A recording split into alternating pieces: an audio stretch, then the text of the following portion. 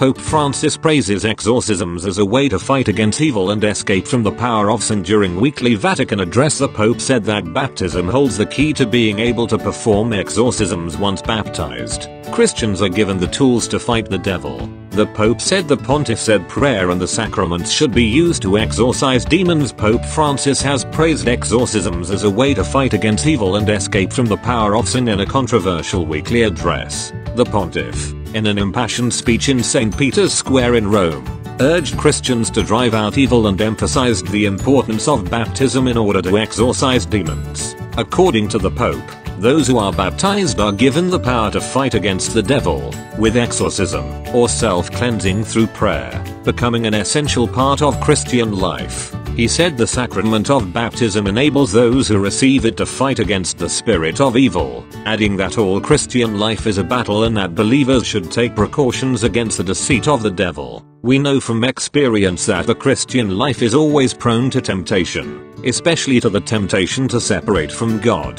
from His will, from communion with Him, to fall back into the webs of worldly seductions, he said, and baptism prepares and strengthens us for this daily struggle, including the fight against the devil who, as St. Peter says, like a lion, tries to devour and destroy us.